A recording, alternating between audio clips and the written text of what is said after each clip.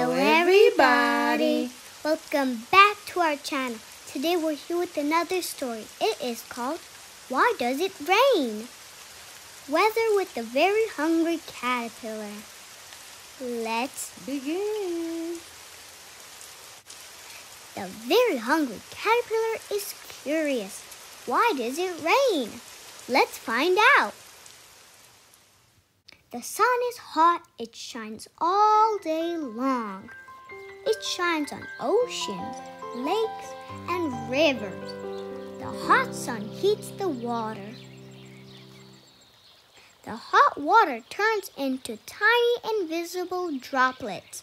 The droplets go into the air and rise up, up, up.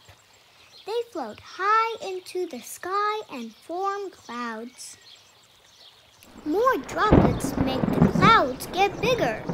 The droplets squeeze together and become larger drops. Those drops get heavy and fall out of the clouds.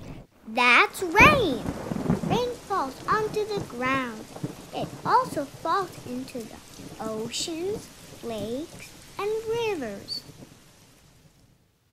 Then the rain stops, the sun shines, and the water cycle begins again.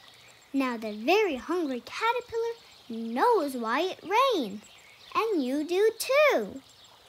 The end. So we hope you enjoyed. Don't forget to like and subscribe and hit that notification bell. And we'll see you in the next video. Bye.